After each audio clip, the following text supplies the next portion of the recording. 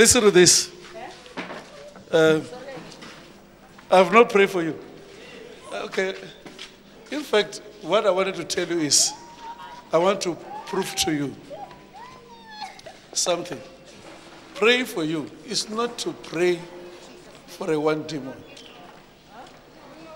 Like when I'm praying for you, like this, I'm not fighting one demon. The Bible says when demon goes out, he search for many demons.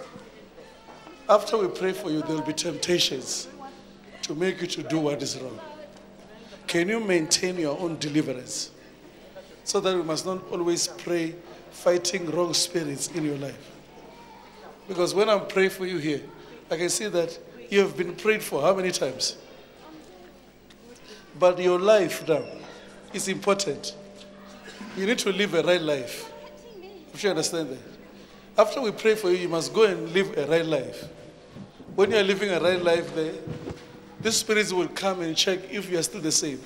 You'll be tempted so, so that you must sin. Tell yourself you don't want to sin. You carry on. Listen, if you fall by the same sin you fall, you are still on the same place.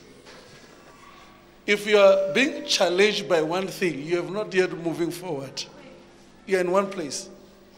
If you lie here, you confess lies, you move forward. When you lie, you go back to the same place. You are in one place.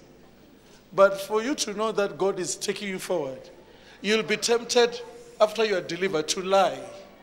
So when you don't lie, you have moved forward. I'm sure you understand that. So eh, we must not struggle with one spirit of taking you back to zero.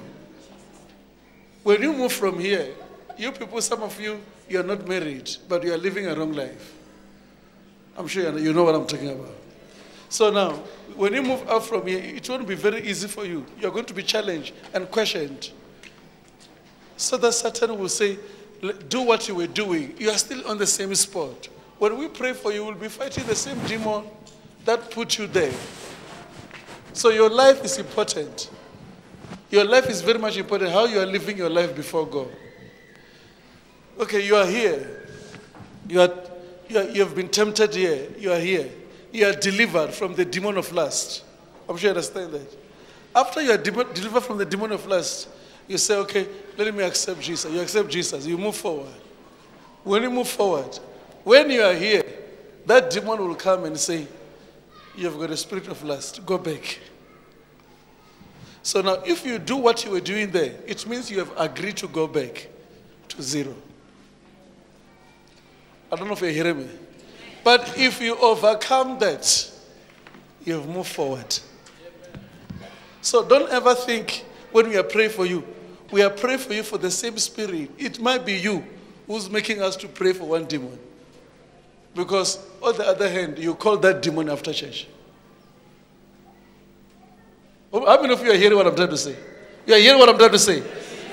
I've prayed for you so that God will bless you. Same applies. Now you have moved from there, you are here.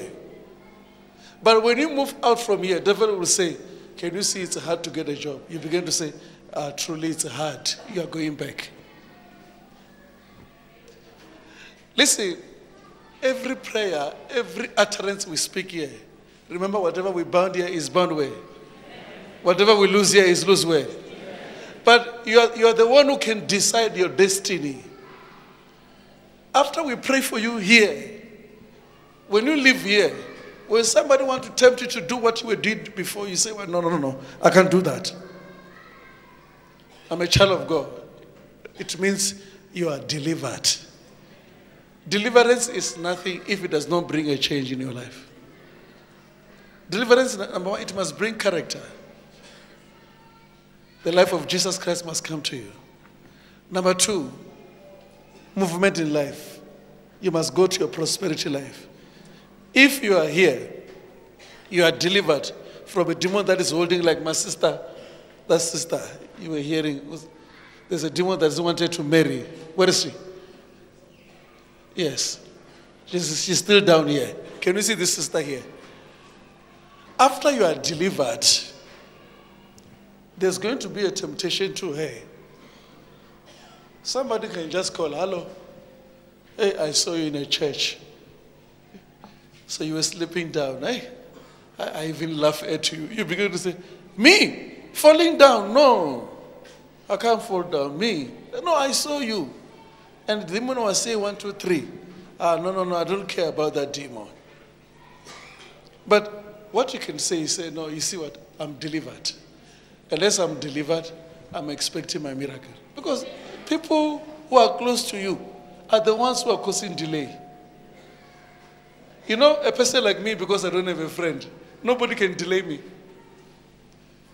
Nobody can delay. You can't tell. You can't call me and say, "Hello, you are stupid." I will say, "Glory be to Jesus." Hello, you are mad. Thank you, Jesus. Because I know it's only Jesus, it's not what He's saying that takes me forward. So now, if we consider what people are saying, temptations, problems, challenges, you people here, you will be prayed for until your head start to be like this. I believe today something has happened into your life.